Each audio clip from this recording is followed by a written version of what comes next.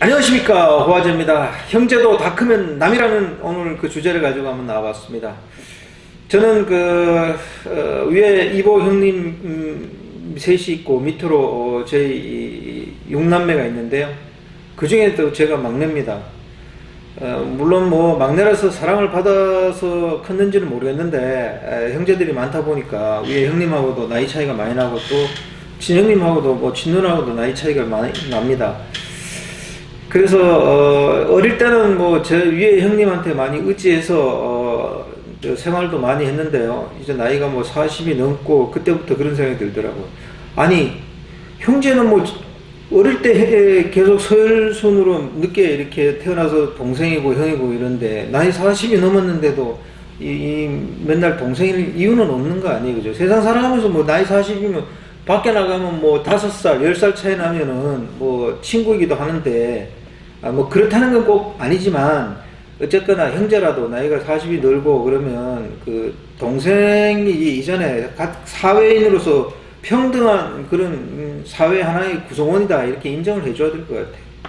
그래서 뭐 섭섭하다 뭐 그런 건 없지만 그래도 어, 어 나이 들어서 이제 그렇게 되니까 또 어, 저, 저 관계도 소원해지고 그런 면도 있는 것 같습니다. 뭐 그리고 형제라는 게 클 때는 한 어머니 밑에서 이렇게 있으니까 뭐, 뭐 생각하는 거라든지 보는 게 다 똑같아서 어, 형제이지. 아 결혼하고 나면 각각의 에? 가정이 다르고 가정에서 애들 키우는 거 교육 다르고 또 뭐 각각 그, 서로 결혼해서 살아가는 그 가정이 다른데 어떻게 옛날처럼 형제가 오해가 있을 수 있겠습니까? 그 오해 없다는 것도 물론 여러 가지가 있겠지만 형제들 스스로도 이렇게 옛날 생각에 뭐 동생들한테 툭 던지면 그 옛날에는 동생이 혼자 있지만 옆에 뭐 부인도 있을 거고 자식들도 있는데 보면 이제 갔다 오면 그런 것들이 서로 싸움이 되고 그러니까 이 형제들 간에도 이렇게 관계가 뒤틀어지는 것 같은데요. 근데 지금 시대에는 그렇습니다. 가족 관계도 이제는 뭐 어, 핵가족화 됐고 이제 다 컸으면 독립하고 그랬으면은 각각 남으로 살아가는 게 맞다고 생각이 들어요.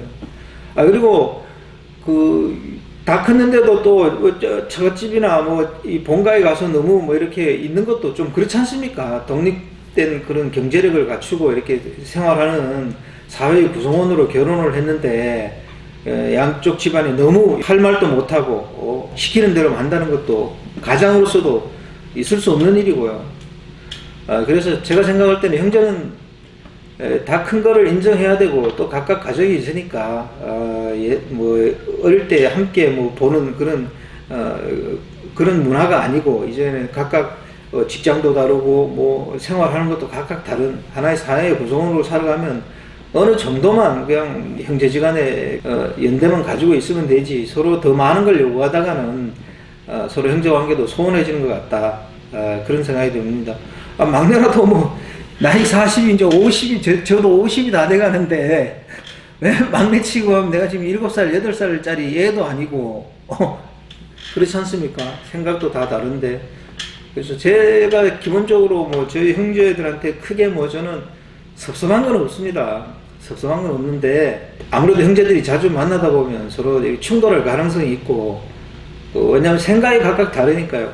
모르겠어요. 저는 사실 우리 형제들도 보면 생각이 어, 이렇게 자기 주장이 강한 것 같아요. 그래서 될 수 있으면 좀 안 마주치는 게 맞지 않나 그런 생각을 가지고 있습니다.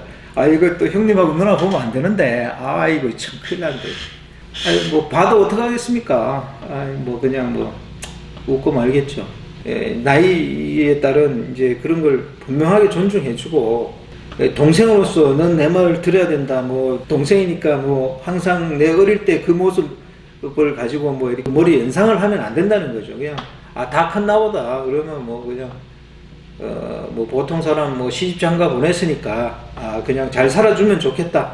이런 생각을 했었으면 좋겠습니다. 어 물론 뭐 형들이야 아 뭐좀 섭섭하겠지만 아 그래도 뭐 어떡하겠습니까? 뭐 살아가는 게 나도 나도 힘든데 나도 힘든데 그래서 서로 연락 안 하고 이렇게 좀 지내는 게 좀 편하고 어, 그렇습니다. 그래서 오늘의 요약은 음, 형제도 다 크면 남이다. 서로 어, 인격을 존중해주고 어, 그저 그러려니 하고 살아야 된다 이렇게 생각합니다. 안녕히 계십시오. 호화제입니다.